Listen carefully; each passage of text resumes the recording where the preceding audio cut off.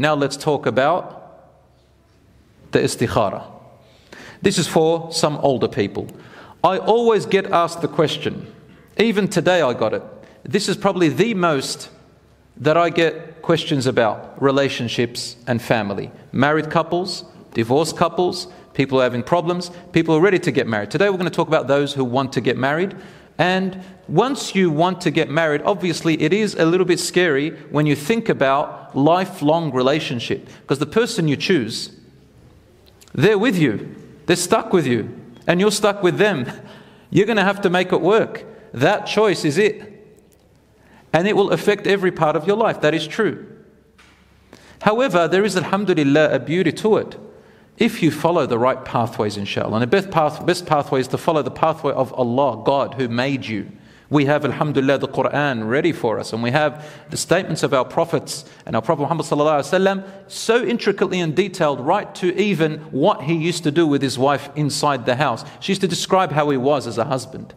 So we have so much detail. We have even how many white hairs the Prophet ﷺ had in his beard. Literally, we counted them. And we know everything about so we have so much information and guidance as a basis to which way to go about it. So let's talk about the istikhara. A lot of people say, I made an istikhara. Should I do I have to have a feeling? Am I meant to see a dream? Is there a sign? Just today someone asked me, I, she said, I, I, I got interested in a brother, a family member, and after a long time, and I made istikhara, I asked him, or I sent someone to ask him, and he said, No, I'm not interested. She said, Is that a sign? I said, Absolutely. Absolutely, he doesn't want you. There's no, there's no you know, magical thing about it. So, my brothers and sisters, someone else they approached me and said, and this is a cultural tradition. I'm going to talk about some really wrong things that people do. Sometimes culture, sometimes it's our elders who get it wrong and, and stuff it up for the young people. They make it very hard for them.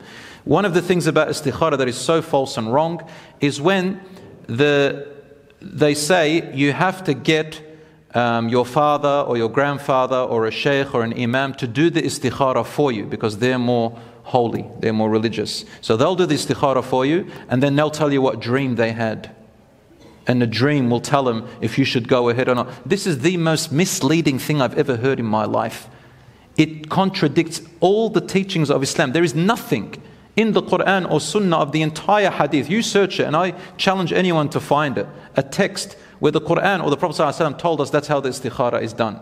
Istikhara is a prayer. You pray two rak'ahs, then you ask Allah. Dua and salat. You don't go in and say to somebody, hey, you know, I just came into the mosque. Can you please do the tahiyyat al masjid for me? I'll just sit on the corner over there. You don't say that to people.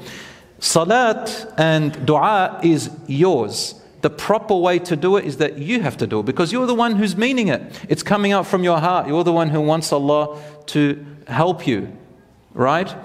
No one else. So it's not from the Sunnah, it's not from Islam that someone else does the istikhara for you. I don't know where people got this from. I don't know what justifications they had. I'm not saying it's haram. I'm just saying it's not the right way, and you're going to be misled that way.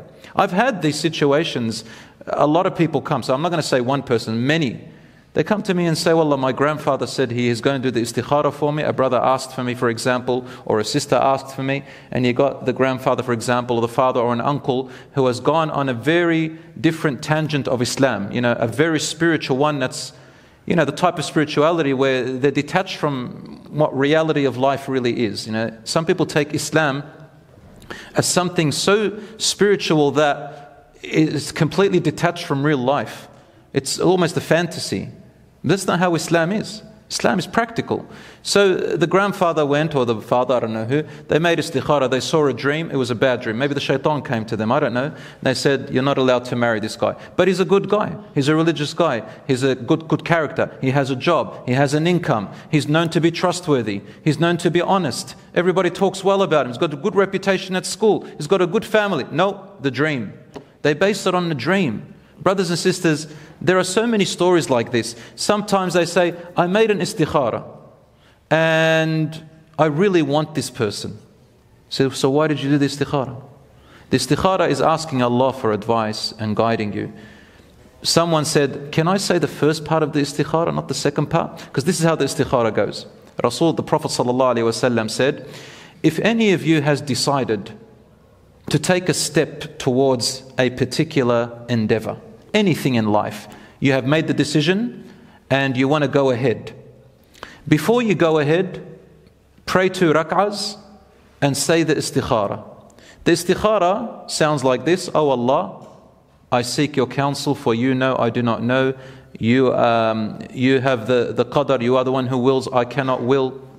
You are the all knower of everything. Oh Allah, if this is good for me in my religion, my well being and, and worldly affairs, and my hereafter, then grant it to me and grant me to it and bless it for us. And if it is bad for me, for my religion, my worldly affairs and well being, and for my hereafter, then keep it away from me and me away from it, and guide me to where is better and make me accept it. Now, someone said to me, Can I say the first part? If it is good for me, bring it and me to it, but not the second part. I said, Well, that's not istikhara. You're asking Allah to make it work for you. There's nowhere where it says that the istikhara, the condition of istikhara is that you have to have an open heart, uh, that you feel good all the way, or that you have to have a dream. There's nothing like that.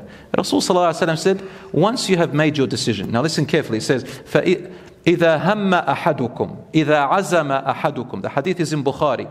If one of you has decided, what does that mean? One of you has decided, meaning you have gone, researched, investigated, asked about them, met them, or uh, sorry, even before meeting them. Let's say you want to make a istikhara to go and meet them for marriage. You go and ask about them. You find out if they even want to get married. You research about them. You ask families, you ask friends. Look at their social media page. After you've done all that research, then you make the istikhara before going over. Then, after you meet them and talk to them and you investigate a second, the second step, after all that, you use, you use your logic, you use your rationale, you study, you investigate, you think about what you want, you ask the questions, you study the topics. Then, before the next major step, making the decision to get married, make an istikhara. Why?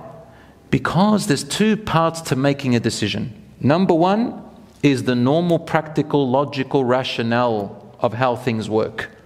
Get to know the person for crying out loud. Do all the proper stuff. Take advice from experts, from your parents. Do all that stuff. Know what you want.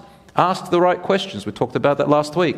That's for the now. You want to get married now? Do your investigation for the now. So, what is the istikhara for? The istikhara is for the later. The istikhara is for the future. We know what's happening now, but we're not, we don't know what, where it will go in the future. So we make the istikhara for the unknown future, not for the now. As for the now, investigate, make your istikhara. And the ulama said there are some signs to the istikhara, but don't use them specifically. Don't rely on one or two. Don't say, I made an istikhara and that night you saw a dream. You saw snakes and dogs. Is he good for me? Say, no, that's the shaitan. The shaitan is telling you don't take him because probably good. So, but the istikhara, so this, there's nothing that says you have to see a dream after the istikhara. Dreams in general come in three forms, in general. Not attached to istikhara, just in general. Number one, they are the conversations you have with your conscience. The things you think about in the day, when you go to sleep, your brain and you talk to each other. That's the majority of dreams, majority of us. The second type of dream are nightmares that come from the shaitan. They're the, the dogs and the cats and the scary monsters and the snakes and I don't know what, and the night terrors and the um, sleep paralysis, all these come from the shaitan. They don't harm you, they just scare you a little bit. You wake up, you're a little bit terrified, recite Ayatul Kursi, turn to the other side, say Bismillah, and you'll be okay, inshallah. The third type of dreams are the ones from Allah subhanahu wa ta'ala. They're difficult to see properly. Sometimes they're mixed with other things. So you've got to ask the, the, the, a shaykh or an imam or a scholar or somebody you know who's knowledgeable a little bit who can kind of give you some advice. You don't just go and determine it yourself. That's not attached to the istikhara. It could be, but it's not. Nor is it that you're going to say, Oh, I feel so good. Habibi, when the sun comes out, I feel good. Some people, they, they're not thinking about, I've seen this before. They're not thinking about someone, but it was a nice day. They go, and they fall in love. It's not because the girl or the boy is good, it's because the sun was out. It's because the weather was nice. You had euphoria. The hormones came out, the happy for the serotonin and dopamine, right? It, you, you got to distinguish between psychological or hormonal um, reactions, a bit of adrenaline, and use your brain. to sit down, write it down. What questions? What's important in my marriage? What's important in my life? Let's look at my family. What kind of a family would suit that I'd be part of? Imagine myself in 10 years' time and I have children. How would my life be? Then go and talk. Do I work? What would I like her to be? How would I like him to be? What would matter to me? What would make me stop getting into this marriage? That's how you think, logically and rationally. Then the istikhara comes later for the future so that Allah can be there for you and open the pathway for you. Sometimes you may see ease, doors opening, opening, opening. That's a good sign. Sometimes you won't feel anything at all. Sometimes you won't feel anything at all. I tell you, keep going. Sometimes you may feel a little bit up and down. Maybe, maybe not. It doesn't matter. Keep going. If it happens, it happens. If it doesn't happen, Alhamdulillah, you'll know in the end. You will feel it in the end, just by the way cause and effect is. That, man, this is getting too hard. Father's getting really stubborn. The girl is having thoughts up and down. One minute we're together, next minute we're not. Uh, I've seen so many red flags. So try to understand what your feelings are and what your brain is telling you. It's very, very important. So, brothers and sisters, with the advice and support of family and elderlies, inshallah, and by praying to Allah and making dua, you cannot go wrong. Brothers and sisters, and your investigation and research. Brothers and sisters, therefore, now we understand what the istikhara is. Okay? It's for the future. For now, make your research, investigate, do all the things you have to do, and make a decision. There's nothing perfect. You're never going to have a perfect wife or husband, ever. And you're still going to have your ups and downs. Don't blame it on istikhara, no. But Allah will be there for you in thick and thin. You just do what's right by what He told you, and the rest of it, rely on Allah subhanahu wa ta'ala and keep going. All right, brothers and sisters? That's the best thing, inshallah.